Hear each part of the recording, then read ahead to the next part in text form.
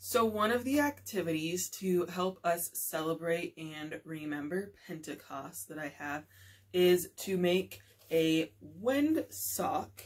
Uh, and if you remember, uh, the Holy Spirit came down in our story today on Pentecost, and it was it sounded like a mighty rushing wind, um, hence wind sock.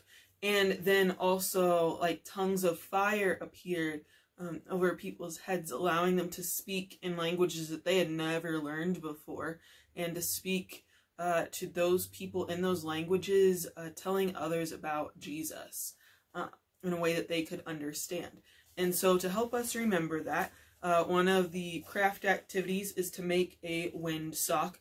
And so, what you'll need for this is some red paper. If you don't have red paper, you could use other colors that are, you know, similar shades to, you know, what you would consider fire, or you could use white paper and color it red. Uh, and then you will need to cut out a shape of a dove, and I will include a link to a coloring page. It's really easy to cut out uh, for that or trace. And you will need glue or uh, tape uh, to attach your uh, things. And then you can be as creative as you want. You could color more things on this to help you remember our uh, lesson about Pentecost from Acts 2. And then you will also need something to hang from the bottom of your windsock. So I used uh, crepe paper or streamers and I cut them in half for my windsock. Maybe you have yarn laying around uh, and you could use that and then attach beads to it. Uh, be as creative as you want to or need to be for that.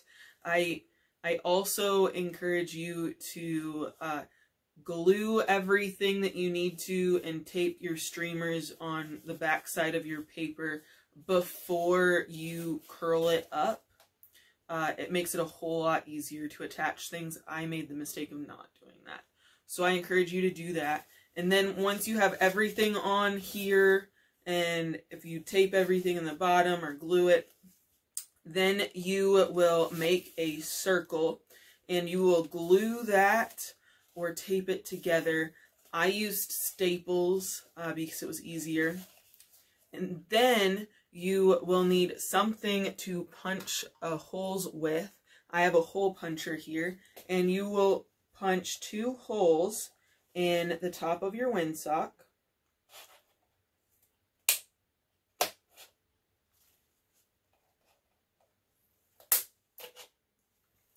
Like so. And then you will need some sort of string to string through here because a windsock doesn't do any good if you don't have a way to hang it.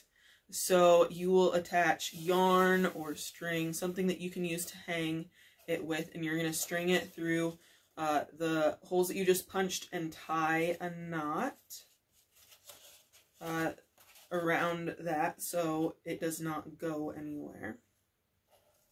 And I pre-knotted the one end of my string. It made it a lot easier. So then once you knot it, you will then have your hanger. Mine's a little bit long, so you might take time to adjust it. Uh, but there you go. There's your windsock uh, to remind you about Pentecost and the sound of the Spirit coming down like a rushing wind and tongues of fire appearing. So, there is your craft.